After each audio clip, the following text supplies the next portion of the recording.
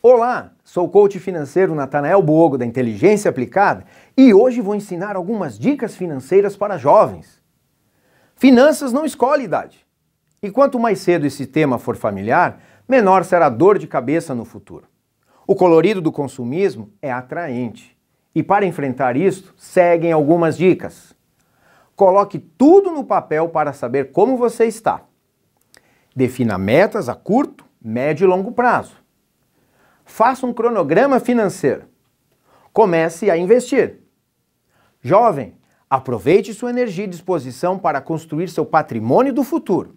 Se interessou por esse assunto? Entre em contato e vamos trocar uma ideia.